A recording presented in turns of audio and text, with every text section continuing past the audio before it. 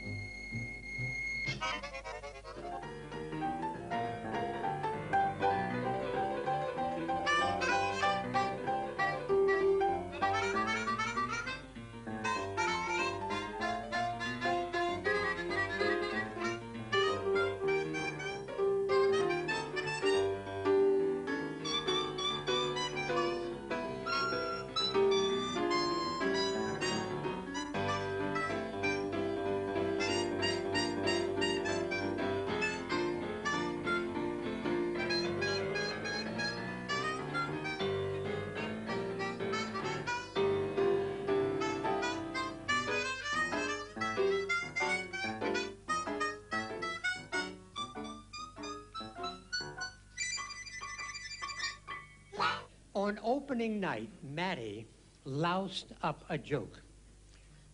On the punchline, he plays a chord, which completely destroyed the whole story. It's about this pianist in a restaurant, and a girl asks him to play Over the Rainbow. So he plays the first eight bars.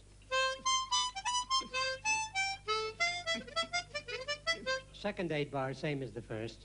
Now he gets to the bridge, the middle. Cannot remember it. He's embarrassed, even humiliated, that he, a professional musician, cannot remember a standard like Over the Rainbow. Goes to the bar, gets drunk, walks through a plate glass door, cuts himself badly, lying on the sidewalk bleeding. They send for an ambulance. And while he's lying there bleeding, waiting for the ambulance, he says, What's the middle of Over the Rainbow? And the ambulance arrives.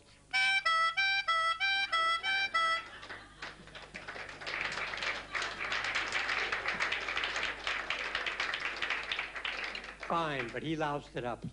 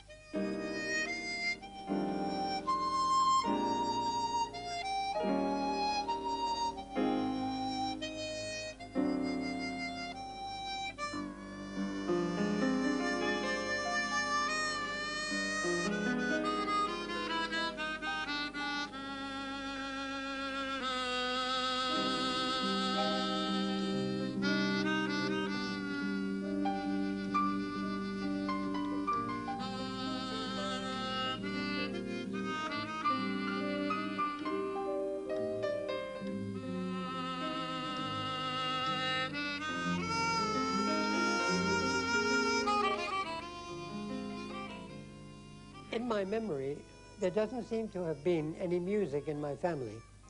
Not my mother and father, not my grandparents. We had gramophone records. I think every Jewish family in Baltimore had the same records. Sophie Tucker singing My Yiddish Mama, Misha Elman playing Eli Eli, and Rachmaninoff playing Prelude in C sharp minor. These were the main records. And that was about all the music I knew until I think when I was about five years old, an uncle took me to hear Rachmaninoff in Baltimore. And I think I can still remember the tremendous impression that man made on me. So much so that many years later, when I gave my first concert in that very same hall in Baltimore, I walked around the hall trying to remember where I was sitting when I first heard Rachmaninoff. I wanted to do what he did. And then I heard Al Jolson, and I wanted to do what he did too. I wanted to be Al Rachmaninoff. As you see, I didn't make it. But I've got Sergei Rachmaninoff, if I can find it on this tape. I would like to play a duet with Sergei Rachmaninoff as well.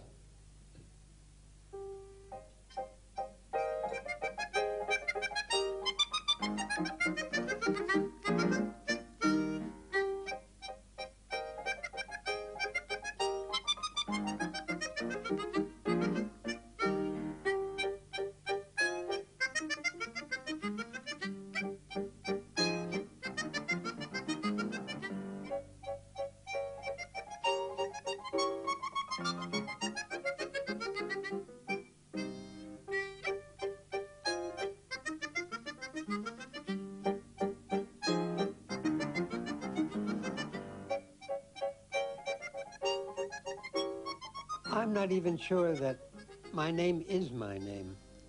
Adler is, after all, a German name, and my parents were both born in Russia. They came over as babies, but nevertheless, Adler is not a Russian name.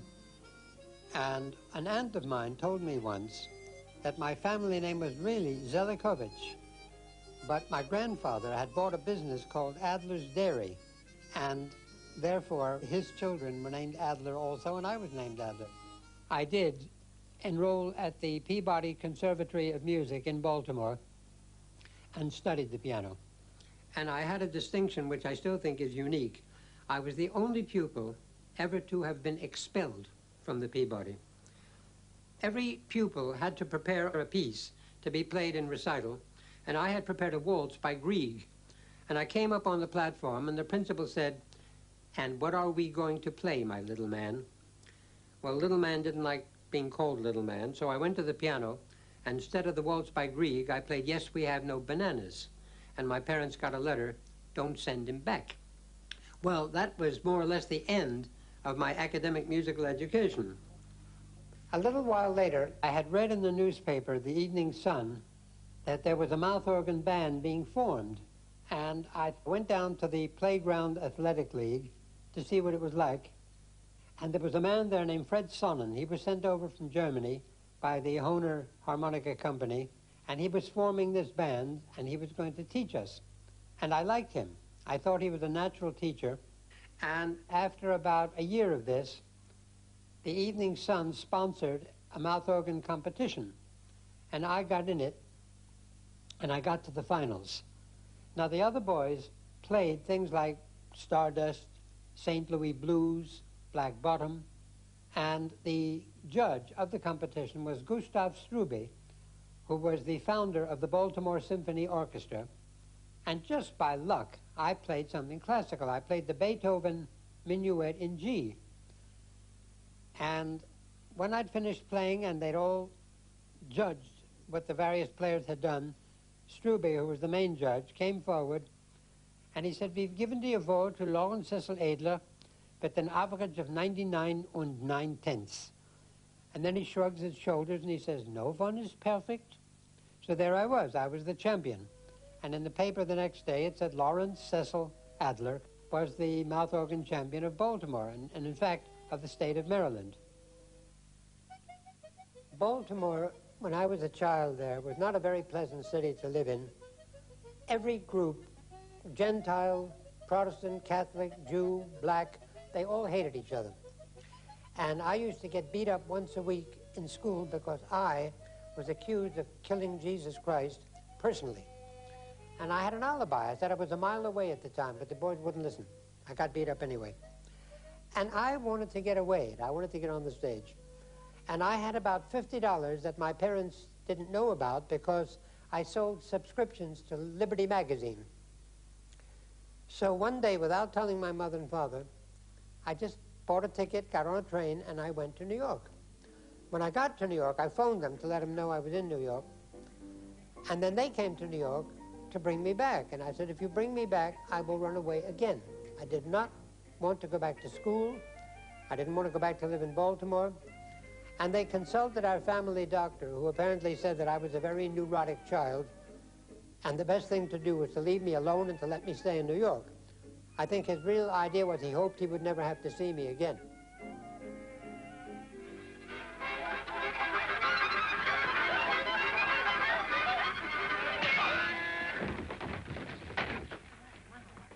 The harmonica was considered just a sort of child instrument, but there was one well-known name in harmonica playing, a band called Borrah Minevitch and his Harmonica Rascals.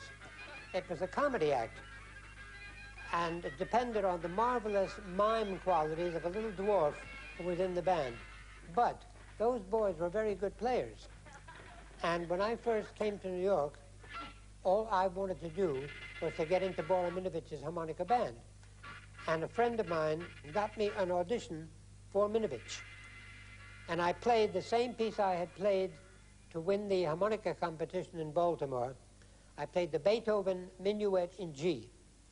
And when I finished playing, Minevitch said to me, Kid, you stink. And I started to cry. I mean, no one had ever spoken to me like that before. And I went out of his dressing room. On, I was going to go back to Baltimore. But on my way back, I decided to stay and auditioned for Rudy Vallee, who was as popular then as, say, Bing Crosby or Frank Sinatra. And he put me on at his nightclub, and I was not a success. But at least he'd noticed me. He hadn't insulted me the way Minevitch had. And so I stayed in New York. And within a week, I had a job touring for Paramount all over the United States at $100 a week. Now, this was in 1928, and $100 a week was very big money. When I was about 14 years old, I was on the bill with Ruth Etting. I don't know if you remember Ruth Etting but she was a great singer. Doris Day made a film of her life story. It was called Love Me or Leave Me. And she was married to an honest-to-God gangster. And James Cagney in the picture played the part of the gangster. But I knew the original. And compared to him, Cagney was a sissy. I was standing in front of the theater, and he, we called him the Gimp. He drew up in a Packard car, and he said, Hey, kid, come here. I said, Yes, sir. He said, you got the ting with you? I said, the what? He said, the ting, the doohickey. The tin sandwich. Tin sandwich, you know, that's a pretty dramatic name for a mouth organ. I said, yes, I had it. he kidnapped me. He took me up to the studio where his wife was making a record, and he made me, he made them put me on the record. He said, put the kid on the record. And Ruth Etting, his wife, who was singing, said, Jim, we can't add another musician. We have an arrangement. He said, Ruthie, baby, I don't think you hear real good. I says, put this kid on the record.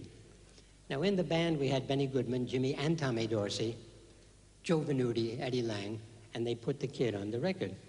And at the end of the session, I said, Excuse me, sir, how much am I being paid for this? He says, You little bastard, get out of here. And you know, I was only 15 years old. I knew that was constructive advice. I left. And when the record came out, my name wasn't on it. The reason I'm bringing all this up is that that same week, I wanted to get away from that theater.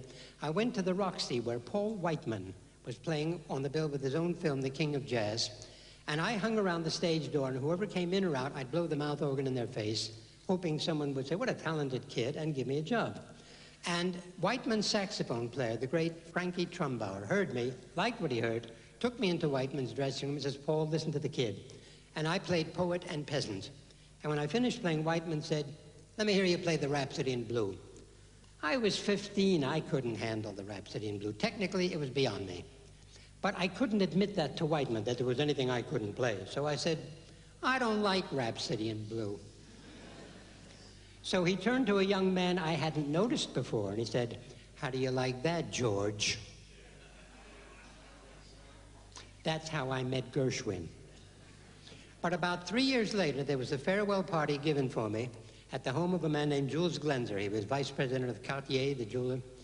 And suddenly, Jules said, Larry and George are going to play the Rhapsody in Blue. Well, by then, I'd heard it so many times, it was in my head, I thought I could handle it. George Gershwin sat at the piano, I started to play, and it was one of those evenings when two musicians had rapport. And when we finished playing, Gershwin got up, put his hand on my shoulder, and he said, The goddamn thing sounds as if I wrote it for you which I wouldn't mind as an epitaph because to me the goddamn thing still does.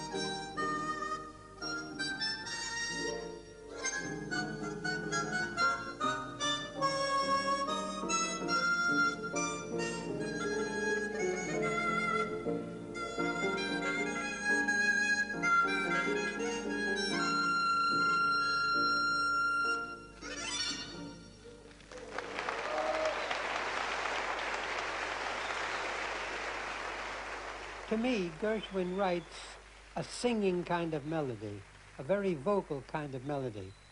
And when I play, I try, I'm not consciously trying, but I'm aiming to get as near to the human voice as I can.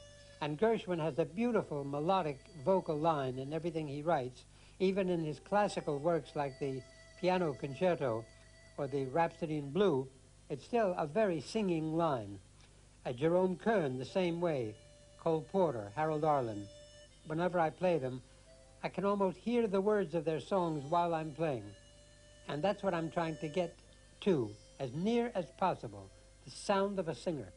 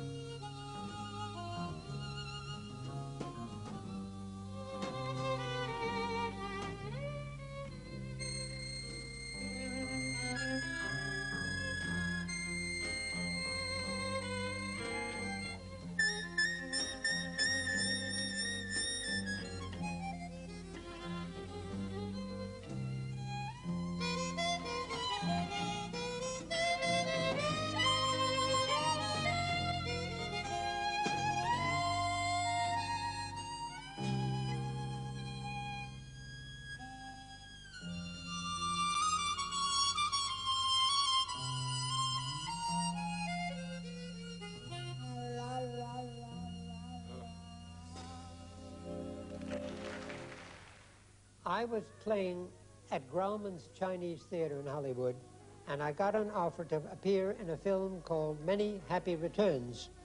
It starred George Burns and Gracie Allen, his wife, and Guy Lombardo's orchestra. And they wanted me to do a number in a radio set with Guy Lombardo. Now, I just didn't happen to like that style of playing, and I refused to do it. And it's a long story, but it finally got up to the head of Paramount Studio. He wanted to know why I was being so temperamental, why I wouldn't work with Lombardo. I said I simply didn't like his style. He said, well, what do you like, Larry? I said, well, I like Duke Ellington. He said, well, so do I, Larry. We all like Duke Ellington. But how much are you getting for this picture? I said, $300. He said, do you know what we would have to pay Duke Ellington to accompany you? I said, no. He said, about $20,000. Now, does that make economic sense? I said, well, no, of course it didn't. Well, can I persuade you, Larry, to change your mind and do this number with Lombardo? And I said, no. So I got fired again. And that night, the head of the studio called me, and he said, well, you little bastard, we got Duke Ellington for you. And so they had. And they didn't want Guy Lombardo to find out that another orchestra was being used, so that although you heard Duke Ellington, He wasn't seen. They didn't photograph him. Now, ladies and gentlemen, the wizard of the mouth organ, Larry Adler.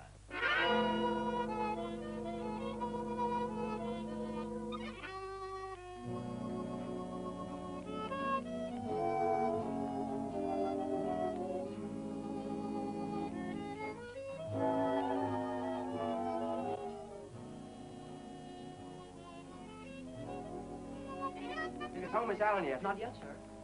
Hello, Ted. Hello, Florence. Well, you seem nervous. Nervous? Certainly I'm nervous. I go on the air in a few minutes. How can you be nervous with this music going on?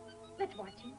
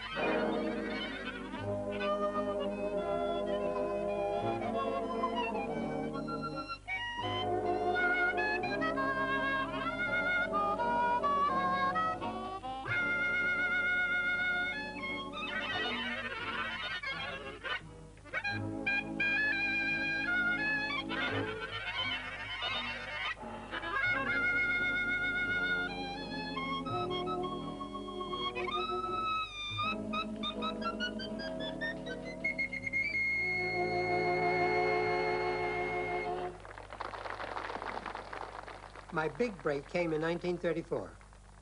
I was playing at the Palace Theater in New York, and C.B. Cochran, who was to England what Ziegfeld was to the United States, saw my show, and he came back and offered me a chance to go with him to England.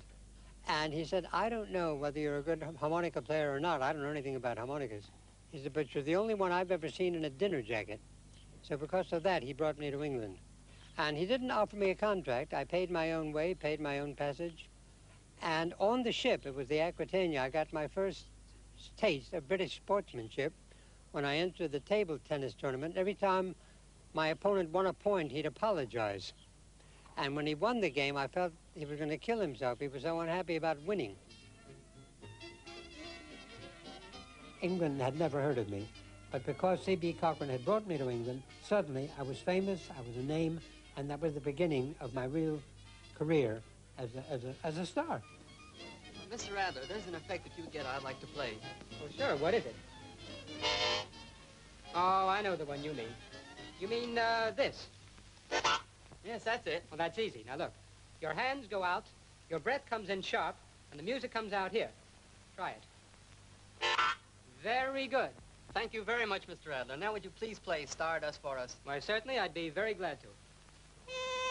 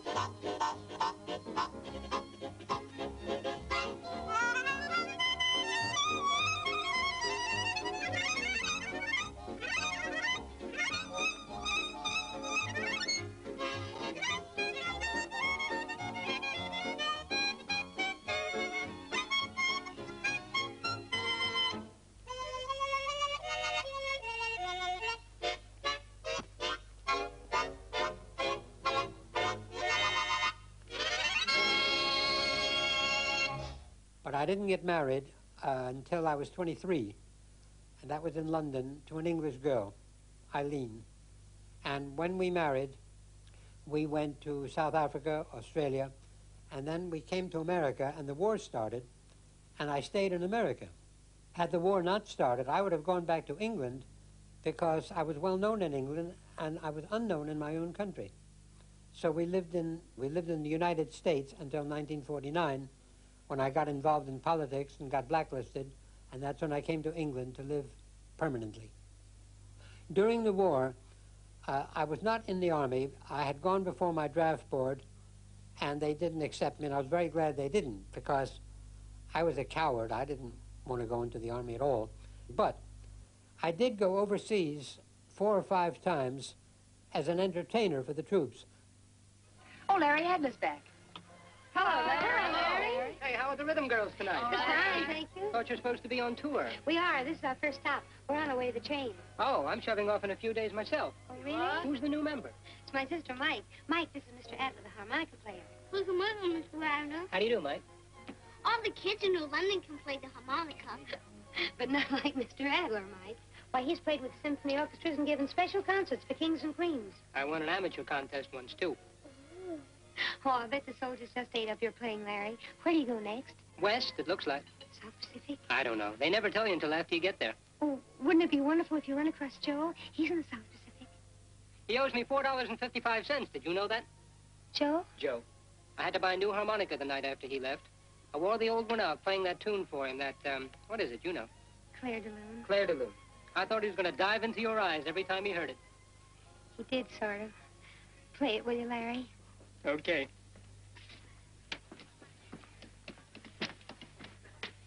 Do you like Clair de Lune, fellas? Anything you say, Larry. Good, thank you. For a couple of people, one of them's over there, the other one's about 5,000 miles away.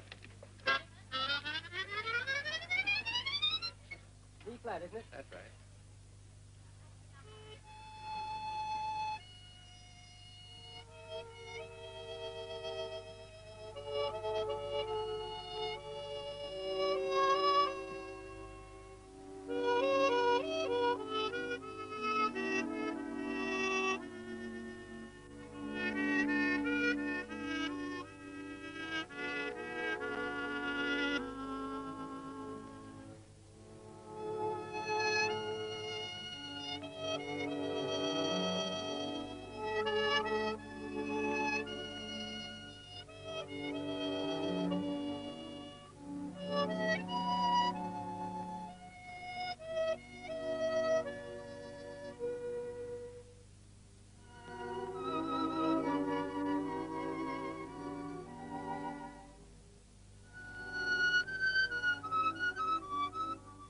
When I played during the war, remember this was before I'd gotten into political trouble.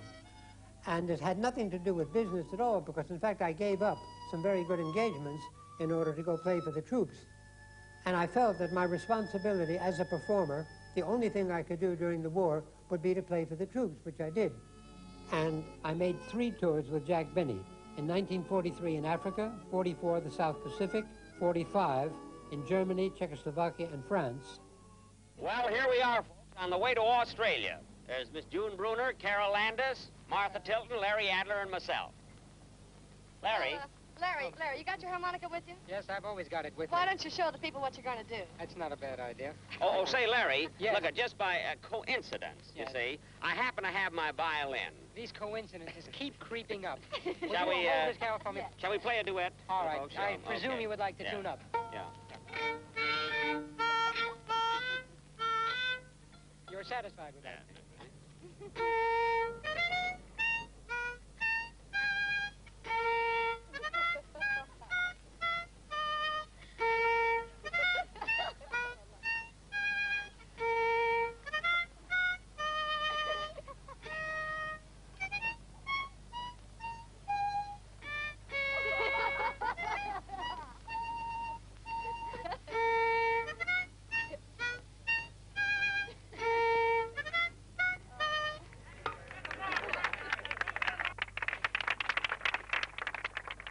I would think that in my many, many years in show business, Jack was the most considerate, kind gentleman, and I use the word advisedly, of all the artists I ever worked with.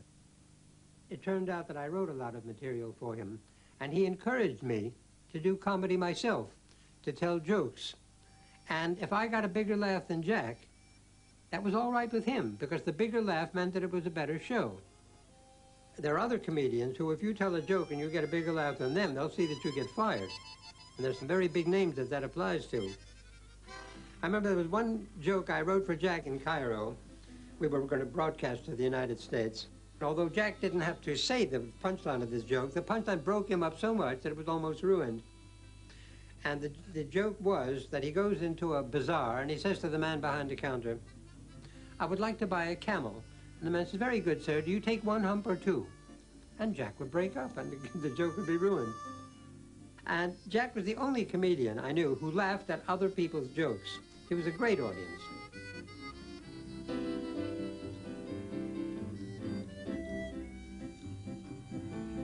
I had studied the piano, and of course I knew how to read music. But when I went on the stage, I mostly played by ear, things that I heard.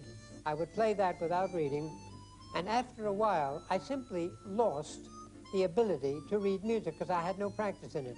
It's like a language that if you don't speak it, you lose the knack of speaking in the foreign language. Well, reading music became to me a foreign language that I simply lost the ability to do.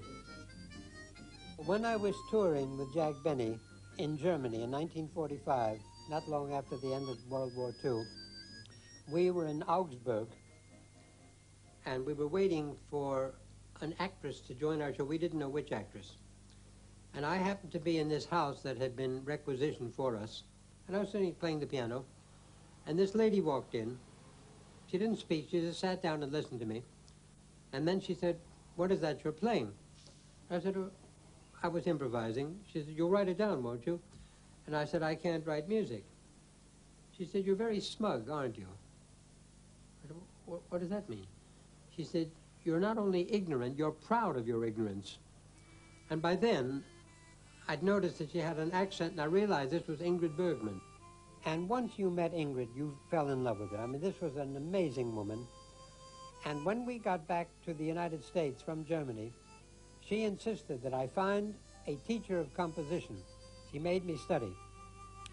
And had it not been for Ingrid Bergman, I would never have written Genevieve because I wouldn't have known how to do it. I wouldn't have had the courage to accept the assignment. Ingrid and I discussed marriage. I was married at the time, so was she. And had I really gone on seriously about it, I would have had to break up my own marriage. I had three children. I simply didn't have the courage to do it.